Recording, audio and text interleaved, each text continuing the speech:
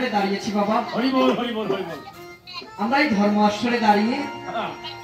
আজকে আমরা সর্বপ্রথম কি করলাম বাবা? আজ আমরা এই আশ্রয়ে উঠে সর্বপ্রথমেই আজ আমরা মায়ের পাছালি গাইবার জন্য আজ আমরা আশ্রয়ে দাঁড়িয়েছি। তাই নাকি বাবা? হ্যাঁ। তাহলে বাবা মাকে আমরা কোথায় পাবো? ওই মায়ের নাম স্মরণ করলে মাকে পাওয়া যাবেই তাহলে বাবা মাকে আমরা স্মরণ করিলাম। ওই গানটি হৃদয় হলো ওই যত সব বাবা। ওই কবি মুখের বাণী। ওই গুণঞ্জয় গুণঞ্জয় ওই রাজ্যের দিকে কল্যাণ হয়। মারিয়াকে সু আশীর্বাদ দেওয়া হয়। আর মায়ার জোর জোর বাংলা হয় সেই বাংলা তো এই- গিটারের বাসা ঘর হয়। তাই বাবা? হ্যাঁ। তাহলে বাবা আজকে যে আমরা ধর্ম আশ্রমে দাঁড়িয়েছি হরি বল হরি বল হরি বল। আমরা সর্বপ্রথম কার চরণে প্রণাম জানিয়েছি বাবা? আজ সর্বপ্রথমে আজ আমরা পিতা মাতার চরণে প্রণতি জানিয়েই এই মায়ের চরণে প্রণতি জানিয়েই আজ আমরা আসলে দাঁড়িয়েছি। তাই নাকি? হ্যাঁ। তাই তো শাস্ত্রে কি বলেছে জানো বাবা? কি বলেছিলেন যে আত্মগুরু পিতা মাতা তারে ভজন করা কঠিন ঠিক কথা। কথা। তাই তো সর্বপ্রথম আমরা পিতা মাতার চরণে প্রণাম জানিয়ে তারপরেই তো আত্মার মা মহামায়া আসনে আবির্ভূত হয়েছে। তার চরণে জানিয়ে অত্যন্ত প্রণাম জানিয়েছিলাম। যিনি আমার গুরু তাহার বাড়ি হলো মাতা ভাঙা নাম তার সদানন্দ বর্মন মহাশয়। তাই তো গুরুর চরণ দুখানি মস্তকে ধারণ করে। এই তো বাবা সকল এবং মা সকল বসে আছে। তাদের চরণ ধরে আজকে আমরা মস্তকে ধারণ করে।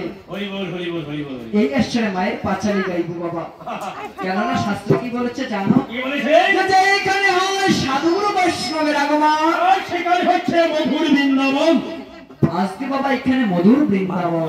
কত একটু কিন্তু বাবা- কর এই মধুর বৃন্দাবন তৈরি করে নিতে হবে বাবা।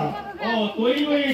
বললেই হয় না। আচ্ছা, কেননা শাস্ত্রে বলেছে কীভাবে তৈরি করতে হবে? যে কোনো দেব দেবীর যদি ধ্বনি দেওয়া হয়। মায়েরা যদি একবার উলুধ্বনি দিতে পারে আর বাবারা যদি একবার হরিধ্বনি দিতে পারে তবেই সেই জায়গাটা বাবা বৃন্দাবনে তৈরি হয়। কেননা বাবা শাস্ত্রে কি বলেছে জানো? যে উর শব্দে রাধা শব্দে কৃষ্ণ।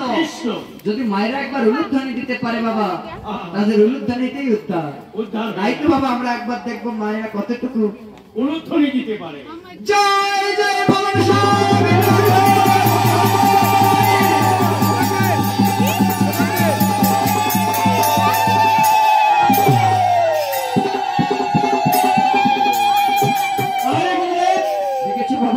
এখানে আপনি একটি বৃন্দাবন তৈরি করলেন হ্যাঁ কিন্তু আমি তো জানি বৃন্দাবন একটি কাশী মথুরা বৃন্দাবন। আমি শুনি একটা আচ্ছা আচ্ছা। এখানে কেবল বৃন্দাবন হলো? শোনো বাবা হ্যাঁ? বৃন্দাবন একটি না বাবা তিনটি বৃন্দাবন আছে। হ্যাঁ, তিনটি বৃন্দাবন কোথায় কোথায়? তিনটি বৃন্দাবন? হ্যাঁ? শুনতে চাও? হ্যাঁ। শোনো বাবা। যেইখানে আমরা তীর্থ করতে যাই বেড়াতে যাই সেটি একটি বৃন্দাবন। হ্যাঁ, বৃন্দাবন। আর বাবা যেইখানে হয় সাধুগুরু বৈষ্ণবের আগমন সেটি একটি বৃন্দাবন। আর বাবা আমার গৃহখানি একটি চুরাশি কোষের বৃন্দাবন আহ, হরি বল হরি বল হরি বল হরি বল এই তো বাবা তিনটি বৃন্দাবন। তিনটি বৃন্দাবন। তাই তো বাবা শাস্ত্রে কি বলেছে জানো? যে বাঞ্চা কল্প ধর্মস্য কৃত শিল্পী প্রতি তানম পাবনাব্য সর্ব বৈষ্ণব ভেবে নম আসলে যত বাবা সাধুগুরু বৈষ্ণব আছে আহ, হরি বল হরি বল হরি বল। কি করলে এটা? তাদের কাছে আমরা ক্ষমা প্রার্থনা জানি জানি না বাবা? এই মায়ের পাঁচালি গুণগান আমরা কতটুকু গাইতে পারব? কি পারব না? হয়তো গান গাইতে গিয়ে আমাদের অনেক ভুল হতে পারে। তাই তো আমাদেরকে নিজের সন্তান নিজের ভাই নিজের বন্ধু বলে আমাদেরকে ক্ষমা করে দেবেন কেননা বাবা আজকে সাধন ভজনহীন দেহ নিয়ে দাঁড়িয়েছি এই ধর্ম আসলে আমাদের সাধনহীন ভজনহীন আমরা কি মায়ের পাঁচালি গুণগান গাইতে পারব? না। তবে বাবা এই সাধুগুরু বৈষ্ণব যদি আজকে আমাদেরকে আমাদেরকে কৃপা করে তবে তো আজ আমরা মায়ের হয়তো আমরা গাইতে পারব। তাই তো বাবা। সকল সাধুগুরু ধরে আজকে আমরা মস্তকে ধারণ করে। এই আসলে মায়ের পাঁচালি গাইব বাবা। বাবা কি বলেছে? কি বলেছেন